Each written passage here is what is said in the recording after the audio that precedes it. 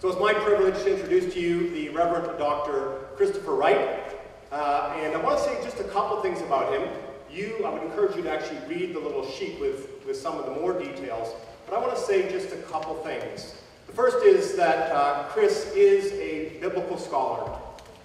And his work, uh, his writings, are, are and continue to be very influential. In fact, one of his books has been a central text at Wycliffe College in our courses for uh, six or seven years and is one of the courses that we really encourage our students to take the time and to engage deeply in what Chris does to reshape the way that we think, particularly about the Old Testament, and the way that it frames our understanding of God's mission in the world. You can get copies of his books downstairs. So Crux is the best little theological bookstore in Toronto, at least, if not much more widely, and it's right downstairs. So if you haven't been to Crux, I would encourage you to take the opportunity to go down there and see what they have. And they obviously have uh, copies of Chris's books and also, of course, of our other speakers as well. But the second area that I want to mention about Chris is his leadership. Uh, it's not very often that you find someone who's both a biblical scholar as well as being a significant leader in the Christian world. And Chris, uh, for many years, was working at All Nations. And All Nations, you may not know of it, but is a uh, place for training people for mission in the UK and has had a very significant impact on the church, both in the UK and obviously much more broadly as well. And he worked there for quite a while. But for the last 15 years, he's been working with Langham Partnership International, which John mentioned to you briefly. And you can find out more about that because there's a display booth just outside the door. Langham Partnership International is something that grew out of John Stott's uh, vision and mission and understanding for the church and uh, is very significant in its work around the world uh, at this point in time. It, uh, it has worked for a long time helping scholars from the two-thirds world come and study in the Western world in order to go back to their countries and become leaders in teaching uh, and in the church and in mission in their areas. But it has also, for a while, done preaching workshops. And it does preaching workshops for people, again, in the two-thirds world, really helping people know how to preach and how to engage with, um, with the scripture in a way that then helps form Christian community.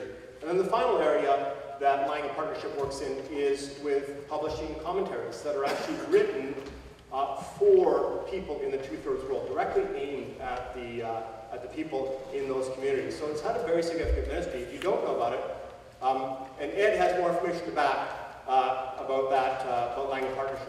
If you don't know about it, I encourage you to take the time. I know Chris would be happy to speak about it, uh, but also the, the booth back, and Ed is there, and he would be happy to talk with you about it. So I think it's a great privilege we have to have uh, Chris. If you want to come up, Chris, that'd be great. And um, to, to have him here. And I'll just let you know that he's actually in Canada for a short time, but his speaking engagements are very full. He's speaking five times tomorrow? Six? Six times tomorrow. So we're privileged to have him here. And I just want to begin just by saying a prayer for Chris uh, as he speaks to us and also for us as we hear him. Let's pray. Gracious Lord, I thank you so much for Chris, and I thank you for the ways that you have shaped and molded and formed him, that you have gifted him, and that you have and continue to use his gifts for your church, for your people around the world. Pray your blessing on him uh, in his time with us, that you will sustain him, that you will strengthen him, and that what he has to share will be an encouragement and a uh, help to all of us in the things that we do in your, for your world and in your church. We pray this in the name of your Son, Jesus. Amen. Thank you uh, for your welcome, Peter, and uh, it's good to be here and to be with you. It's actually nice to be back here with Wycliffe because I have been a few times before, um, and of course, uh, the last few times would have been when uh, whatever number of Principal uh, Bishop George Sumner, now Bishop of Dallas, was. I was here during his time. He's now down in warmer climes down in Dallas. Uh, and of course, I also am a very good personal friend of the incoming principal, uh, Bishop Stephen Andrews, and look forward to meeting him later today. And uh, he, of course, is the chairman of the board of Langham Partnership here in Canada. I'm also well aware that coming to Wycliffe, uh, to this august place, uh, also is in a sense following in the footsteps of John Stott, because I know that he was here on more than one occasion he even spent a, at least a week here teaching uh, in, in, years gone by and was well known in Canada. And so there's a certain sense of, uh, uh, well, I'm sure there's reluctance or fear in the sense of actually standing where he probably once stood and sharing with you in, in that ministry. Uh, thank you, Peter, for what you said about the Langham Partnership. I do hope you will please take the literature that's there. Some of it's on the seats. And if you just want to know more, not necessarily commit yourself to anything, but simply to get more information, do fill in this little white card and just pop it in the basket that's on the table, and then someone from Langham here in Canada will get in touch with you, uh, and that will be the way we can move forward. By the way, um, just in case you're wondering where the accent comes from, um, I, as you can tell, I am British, but I'm not English. I'm from Northern Ireland, from Belfast. So. Uh, I like to say that because sometimes people say to me afterwards, I spent the whole time wondering where you come from. All right, that's, that's the answer. Okay. Now our subject, uh, at least for, for me this morning, is this whole area of mission and the Great Commission and how we integrate our mission together. Uh, and I want to just begin by reading those words of the Great Commission as a kind of text. Uh, it's not the only place I want to look, but it's the central place. The end of Matthew's Gospel, we all remember this. The eleven disciples went to Galilee, to the mountain where Jesus had told them to go, and when they saw him, they worshipped him, although some doubted. Matthew's very honest at that point. And then Jesus came to them and said, All authority in heaven and on earth has been given to me. Therefore, go and make disciples of all nations, baptizing them in the name of the Father, and of the Son, and of the Holy Spirit, and teaching them to obey everything that I have commanded you. And surely I am with you always to the very end of the age. The Great Commission. And so we, we think this morning in this session and then after a coffee break for a second session about this whole issue of what is the mission of the church? What is mission all about? Uh, and that's a big subject. And uh, earlier on, uh, John made that joke about Pontius Pilate, uh, I thought I would start with another one. It's actually a Swedish person I first heard say this, so you can blame him, not me. But he said that talking about mission is sometimes a bit like being a like a mosquito on a nudist beach. It's hard to know where to start. A Swedish. I don't, I don't know they had mosquitoes in Sweden, but uh, there we go. They have the other thing, I'm quite sure. So holding it all together, where do you start? There are all sorts of phrases, all sorts of jargon and ways of talking about it. For example, you've probably heard about holistic mission, uh, which became a very popular phrase some years ago. That is that uh, in our mission we should be tackling the whole of human need. Uh, not just the spiritual, but also material and economic and all dimensions. Wherever sin and evil have created mess and problems in human life, our mission should be addressing that. And I think that's right and good but it can still leave our mission very anthropocentric, very centered on human beings. Me and my problem, or you and yours. And mission can then become rather therapeutic.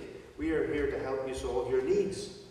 Or as I saw uh, on the side of a church near where I'm staying at the moment, uh, one of their slogans says, help us, no, uh, what is it? Yeah, let us help you find inner peace and joy that you deserve I thought, hmm, I thought the gospel was about finding the joy and peace we don't deserve. Uh, but anyway, there we go. So it can be very therapeutic. Well, here's another one. Um, missional church. You've probably heard that, I'm sure. It uh, seems to have uh, started somewhere south of the border and spread around the world. This idea, you know, you've got to be missional as a church. Uh, and again, that is right and true, that everything the church is and does ought to be connected to its mission, what we're here for. I'll say more about that in a minute. But then this can still leave us with a certain self-centered approach to the whole issue. Not so much sinners in need of salvation as saints in need of a mission. Here we are as the church. What are we supposed to be doing? Do we include in our mission?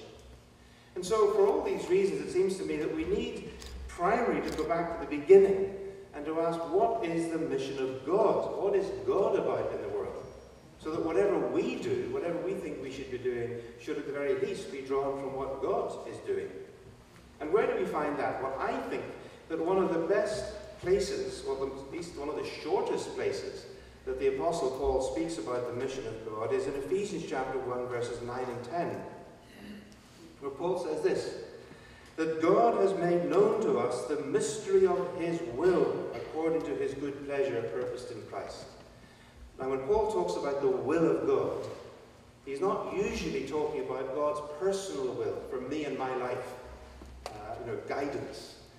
We do want to seek God's will for our own lives, but that's not usually what Paul means by the will of God. He means this great cosmic purpose, verse 10, to be put into effect when the times reach their conclusion to bring unity to all things in heaven and on earth under Christ. Paul says that's God's mission. That's God's agenda. That's what God is doing in the whole story of the Bible, from creation through to new creation. God is bringing about this healing, restored, redeemed, unified, reconciled creation in and through Jesus Christ as Lord and God and Saviour and Judge of the earth. That, I think, is what Paul meant when he uses that phrase to the Ephesian elders in Acts chapter 20, when he said, I didn't hesitate to preach to you the whole counsel of God, that whole scriptural will of God from Genesis to Revelation. Now, I expect you've probably heard of uh, the Lausanne movement. If you're familiar with John Stott, I'm sure you have, because he was involved with the uh, original Lausanne Congress on World Evangelization, held in Lausanne in Switzerland in 1974, and then developing into a movement which eventually came to its third Congress in Cape Town in, in October 2010, from which was produced this document, the Cape Town Commitment. I do hope that the Crux Bookshop has got some copies of this, uh, this little booklet. If, it hasn't, then you can't buy it. It's only $8. Uh, Edward's raising a hand. We have some copies at the back. Um, but also you can even download it for free if you're too stingy to buy one uh, from the Lausanne website. And here's how it defines the mission of God. And I, I rather like these phrases. Uh, I'm going to put them on the screen and read them. But as I do, if you could be listening with sort of your biblical antenna waving, listening for the echoes of Scripture in here, because I think this is a very scripturally rooted statement. It says this that we are committed to world mission because it is central to our understanding of God, the Bible, the church, human history, and the ultimate future.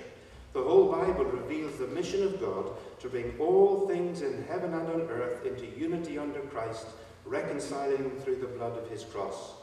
In fulfilling his mission, God will transform the creation broken by sin and evil into the new creation in which there is no more sin or curse. God will fulfill his promise to Abraham to bless all nations on earth through the gospel of Jesus the Messiah, the seed of Abraham. God will transform the fractured world of nations that are scattered under the judgment of God into the new humanity that will be redeemed by the blood of Christ from every tribe and nation and people and language and will be gathered to worship our God and Saviour. God will destroy the reign of death, corruption and violence when Christ returns to establish his eternal reign of life, justice, and peace. And then God, Emmanuel, will dwell with us, and the kingdom of this world will become the kingdom of our Lord and of his Christ, and he shall reign forever and ever. Well, don't you say amen or something? At least after a statement like that? sometimes I read this in, in Africa and they go, Hallelujah! You know, they leap up and down, but you're Canadian, so I don't suppose you'll, you'll, do that. But I hope there's, thank you, yeah. I hope there's some sense of hearing those words that, yes, that is what God is about. That is the mission of God. It involves all creation and all nations. It is all centered on the Lord Jesus Christ. But of course, it still leaves the so what question. If that is the mission of God, what is the mission of God's people? If God's mission, what God is planning for the creation, is as vast and comprehensive as that, surely at least there must be something comparably comprehensive about our mission. God invites us into a very big agenda uh, when he invites us to share in his mission. Now, down through the uh, years, of course, Christians and denominations and agencies have tried to define what is the mission of the church. And I know that at least uh, some of us here are, are, Anglicans. And within the Anglican Communion in 1984, they produced a document in which they spoke about the five marks of mission. They said the mission of Christ's church includes, and here they are, I've just put them around this diagram. First of all, evangelism, proclaiming the good news of the kingdom of God. Number two, teaching, nurturing, and discipling new believers. Teaching.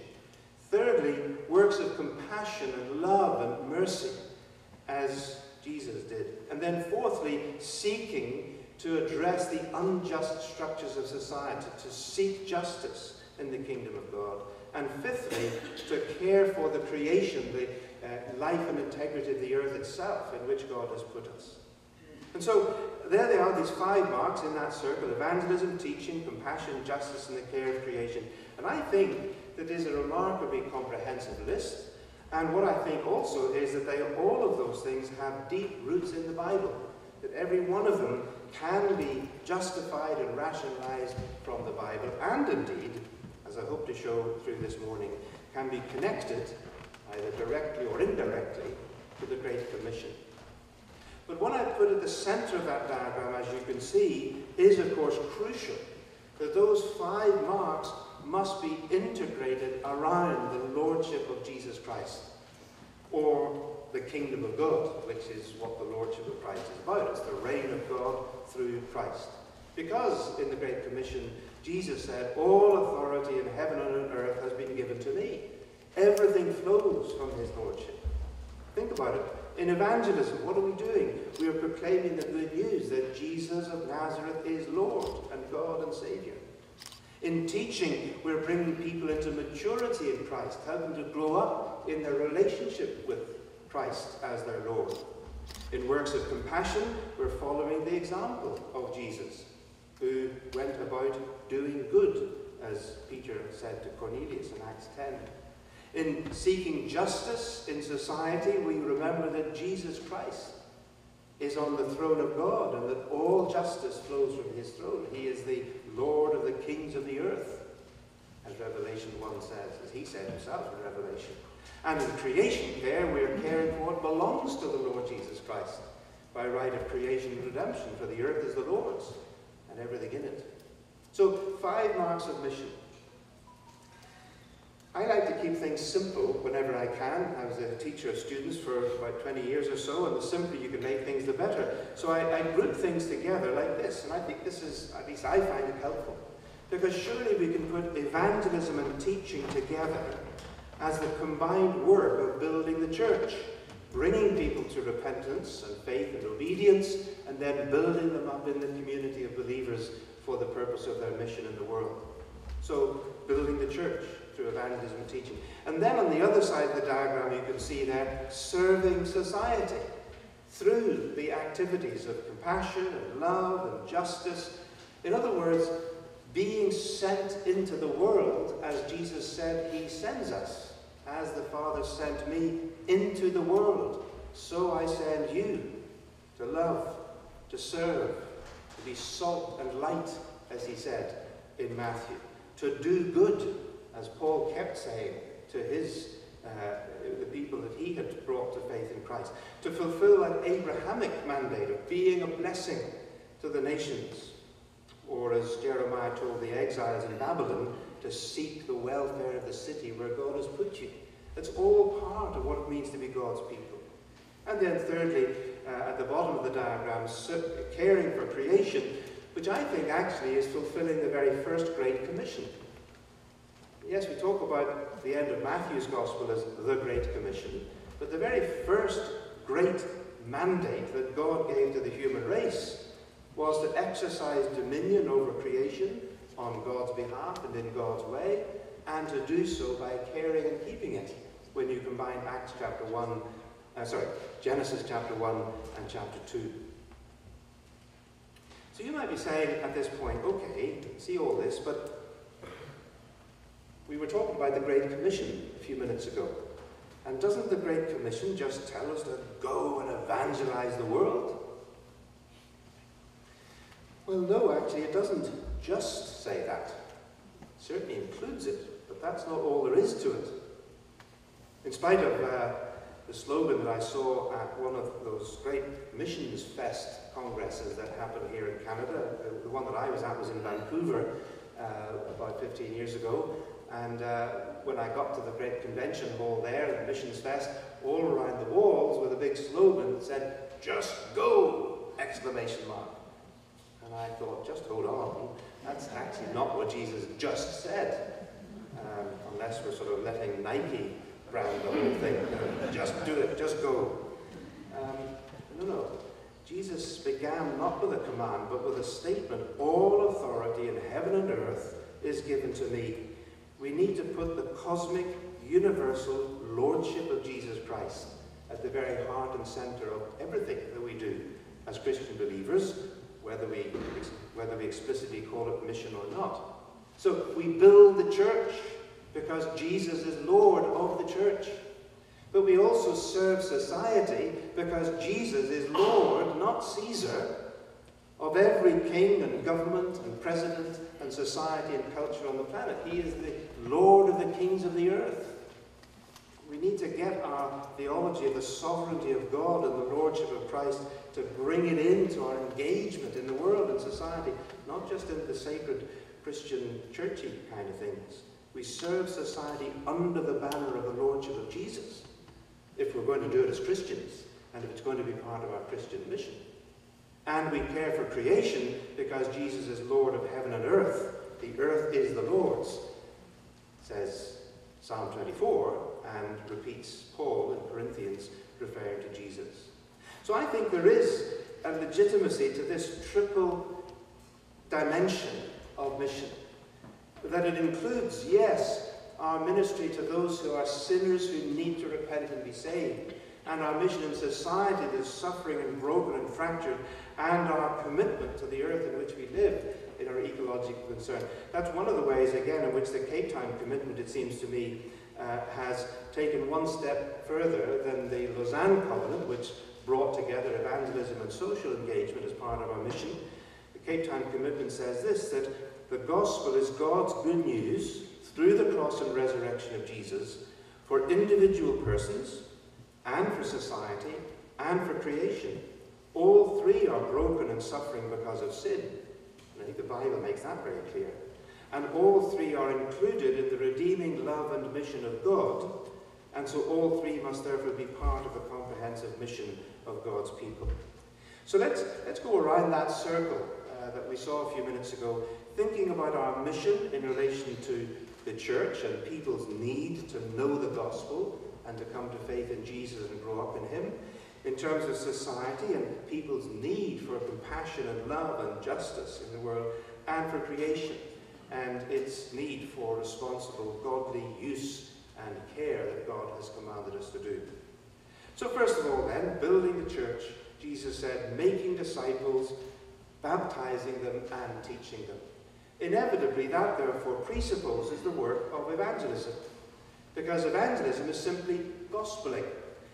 It's actually a bit of a pity that in the English language, the word evangel or evangelism has got separated from the word gospel, because in, in, in Jesus' world, in the world of the apostles, it was the same word. Uh, the word meant good news, evangelion or evangelium in Latin, and you announced good news when you gospeled. It's, it's all the same thing. It's proclaiming that we have good news for the world. Something has happened. There's stuff to tell people about.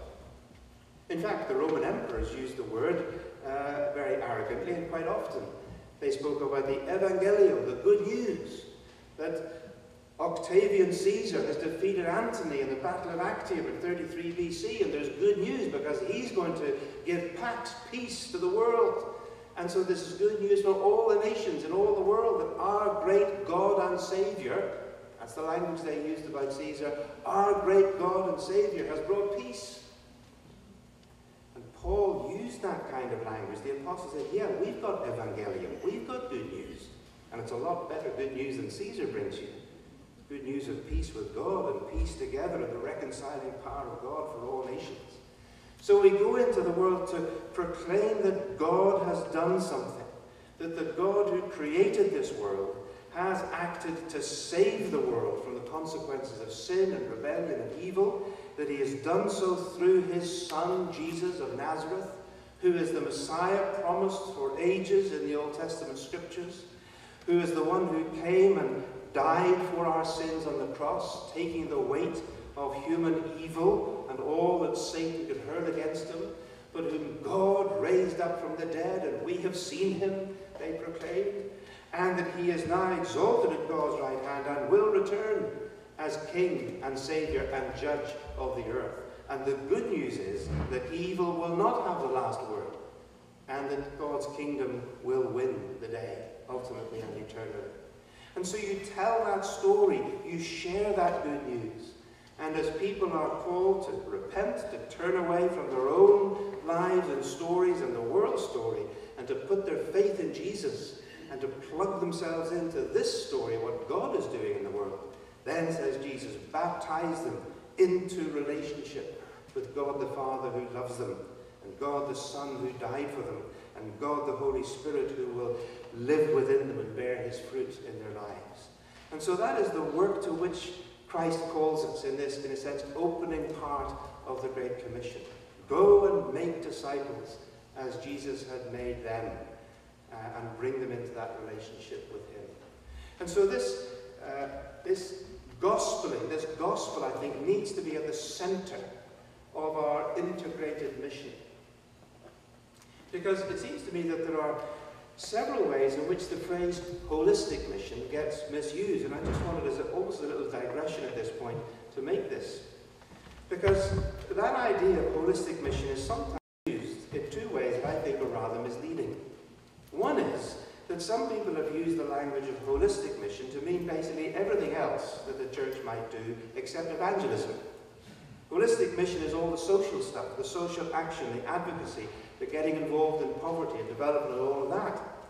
In fact, there was even uh, a, a, time when Lausanne was doing that, and I objected uh, because I went along to the Lausanne Forum in 2004, uh, and they had 31 special interest groups, SIGs, that they're called special interest groups for mission, oh, Muslim mission, mission among the handicapped, mission for children, and so on.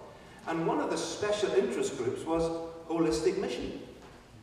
I was horrified. I thought, I thought holistic mission was the whole thing, uh, not just all the social and development stuff. Because social action without evangelism is no more holistic than evangelism without social involvement. But the other way that the phrase can sometimes then get used is also a bit misleading. That holistic mission just means everything and anything the church does, uh, just whatever you want to do, like a bag of marbles, you know, just pick the one, the colour you like. No integration, just a lot of stuff that the church might do. Everything and anything, like a sort of smorgasbord. Just take your pick, uh, whatever you want to do. No, no, no. It seems to me that we need to have this centrality of the gospel at the very heart of what we're doing. Uh, and I use that word centrality of the gospel in preference to the other equally important historical Lausanne phrase. They spoke about the primacy of evangelism. But I think the primacy of evangelism tends to throw us back to mission being what we do, human centered. Whereas the centrality of the gospel phrase points us to what God has done. It says what we need to connect ourselves with is what God has done to save the world, which is what the gospel is. The gospel is the power of God to salvation. And I use this language of center or central, not in a way that then makes everything else peripheral. You know, this is the really central thing and nothing else matters. It's all just secondary and out there around the margins. I don't mean a marginalizing center, but an integrating center. That the Lordship of Christ, the proclamation of the kingdom of God in Jesus of Nazareth, has to be what holds together everything we do as Christians. It's a bit like the song John was singing earlier, that worship is life, life is worship, and so is mission. It involves all that we do in and for Christ. And so it holds these things together, integrates them in the way that a hub is central to a wheel. And a wheel is an integrated object, if it's a, a, a wheel and not just a hoop. The wheel is the integration of the hub, which is connected to the engine, through the axle. That's where the power is. That's what's going to drive the car. But the hub has to be connected through the tire and the spokes with the road, the context, where life is. And so, therefore, we need the integration of the hub of the gospel, connected to the power of what God has done, the story of God's activity in Christ. But it needs to be embodied, enfleshed, lived out, as it were, where the rubber hits the road, uh, as we might say, at the rim.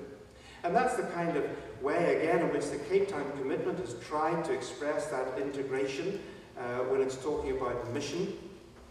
Uh, in Part 1, Section 10, it talks about the integrity of our mission. That the source of all our mission is what God has done in Christ for the redemption of the world, as revealed in the Bible. And so our evangelistic task is to make that good news known to all nations. That's the heart of the gospel. That's the source, the engine, the power.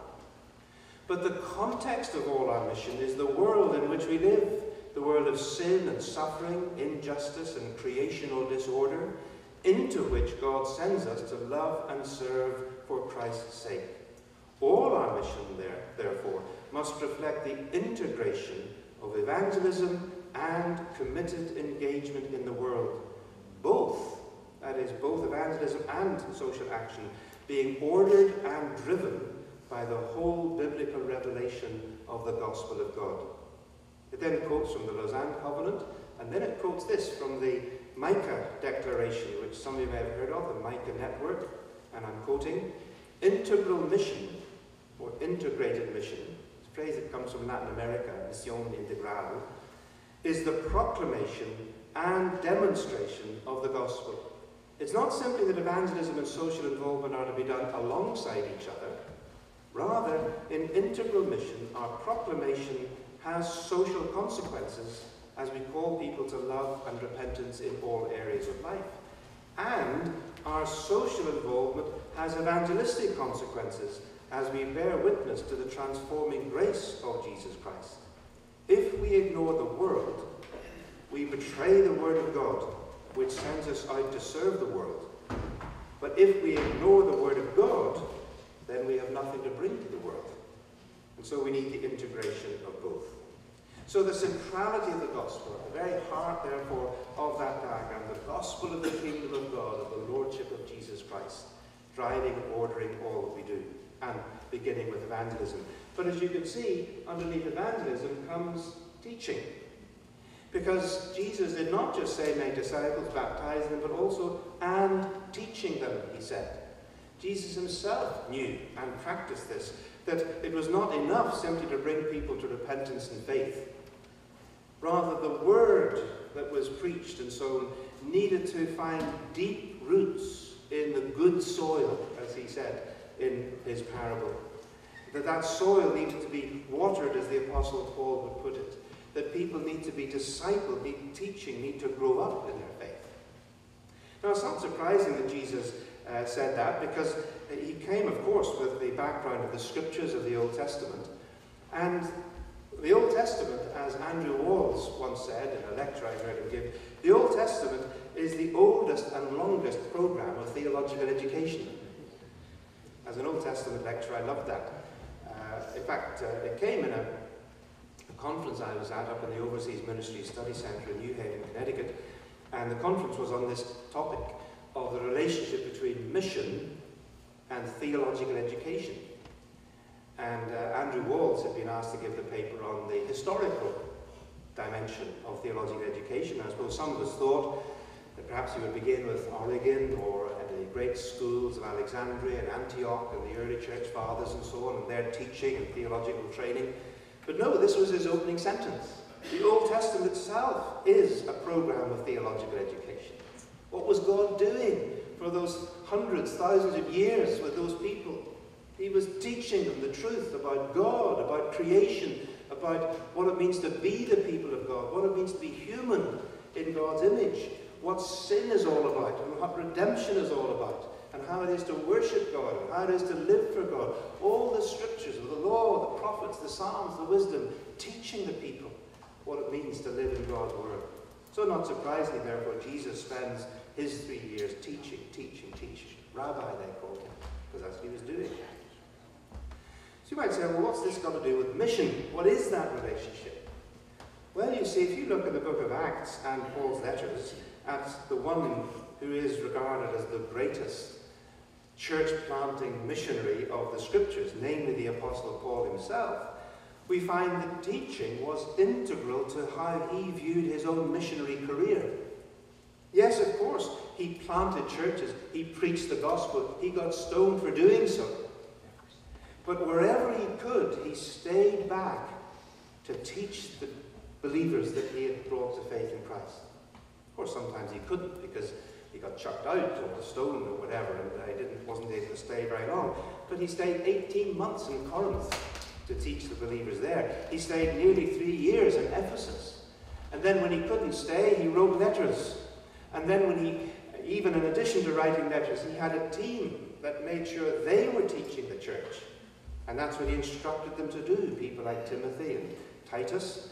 Uh, and above all, I think, Apollos.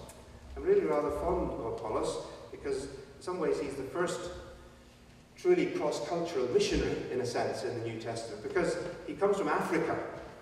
He, we read that he was a, a learned Jew from Alexandria, which is a city in Egypt, North Africa. And he'd been instructed in the way of the Lord, and he spoke with great fervour because he knew the scriptures and somehow he had come to faith in Jesus. So he's an educated, learned, theologically trained Jewish believer in Jesus. And he comes from Africa to Asia because he gets to Ephesus, which is the capital of the province of Asia. And there uh, he has some more theological education with Priscilla and Aquila in their home, and they explain to him more accurately the way of the Lord. And then, having come from Africa to Asia, he goes across to Europe because he goes to Achaia, which is the southern part of Greece. And the brothers and sisters encouraged him there, and he was a great help to those who by grace had believed. Now, what was Apollos doing in the church in Corinth? He vigorously refuted his Jewish opponents in public debate, proving from the scriptures, which of course means the Old Testament scriptures, he didn't have Matthew's gospel or anything like that yet, proving from the scriptures that Jesus was the Messiah, the Christ. Apollos was engaged in what we would call systematic theological education of the believers. He was a teacher. He was learning in the scriptures. And in our kind of curriculum terms, there was no seminary in those days, but he was engaged in apologetics, Old Testament hermeneutics, and Christology. Public debate, using the scriptures, teaching about Jesus. He was a theological educator. And he was a missionary.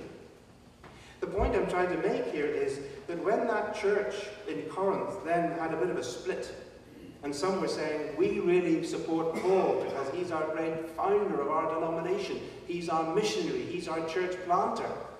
And others said, well, we prefer Apollos because he's actually a better teacher. He's more fluent. He's more articulate. He's more handsome. Whatever it was, they wanted Apollos instead of Paul. And Paul says, no, no, you mustn't do that. You can't divide us up. He says, yes, I planted the church. He says in 1 Corinthians chapter 3. He was the evangelist the person who first preached the gospel to the pagans in Corinth. And Apollos watered the church. He had taught them systematically. But then, says Paul, the one who plants, the evangelist, and the one who waters, the theological teacher, have one purpose, one mission, in one translation, in uh, 1 Corinthians 3, verses 5 to 9. In fact, the literal words that Paul uses are, they are one.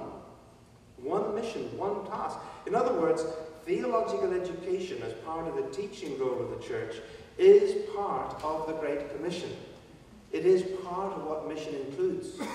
And I'm passionately committed to that, uh, partly because it's what Langham Partnership does, but I think I believed it even before that, um, starting the work for Langham, because it's there in the Great Commission, isn't it? Jesus did not just say make disciples, he said, and teaching them. On one occasion, in the early days uh, of my involvement with Langham, must have been about 2001 or 2 or thereabouts, and I was trying to explain to somebody uh, what Langham Partnership is and does uh, in relation to our uh, program for scholars, and our provision of books, uh, and our training of preachers. Uh, and they said to me, oh, so you're not really a missionary organization then, are you? and I sort of got quite cross, at least inside myself I did. I said, yeah, of course we are. Great Commission, line three, haven't you read it? And teaching them. The teaching task of the church. whether it happens in a formal sense, in theological education, or indeed whether it happens every Sunday in a church with a pastor standing up to preach the scriptures. The teaching of disciples, the teaching of the church, is obedience to the Great Commission. It's part of what Jesus expected to happen. And therefore it is rightly called missional. There is a missional dimension to theological education. And so even though within the Langham Partnership we aren't, quotes, sending out missionaries, uh, there are lots of organizations that do that. There are many uh, organizations committed to evangelism and church planting. God bless them. That's crucial. That is part of the Great Commission. But our role in Langham, I see as more the Apollos of Christian mission. Apollos is kind of my patron saint uh, in Langham. Because Langham is that which comes alongside the church, seeks to strengthen the church, uh, to provide the resources for the teaching of the Bible, uh, and the training of pastors in the skills of biblical preaching. So that's therefore what I wanted to say in this first session. We've really looked uh, around this left-hand side, uh, following in the Lordship of Christ. We are engaged in building the church through the work of evangelism and the work of teaching. Both must go together within the integrated, integral aspect of world mission.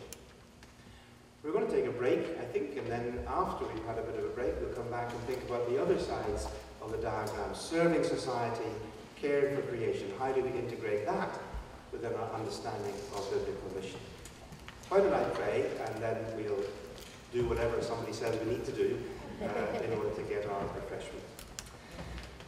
Father, we thank you for being with us up to this point through your spirits, both in our worship, in song, and in prayer, and in our thinking about your word and what it has to say to us about our commitment to the gospel and the discipling of those who come to faith in Christ. May these things remain in our mind and help us to reflect on them, we ask in Jesus' name.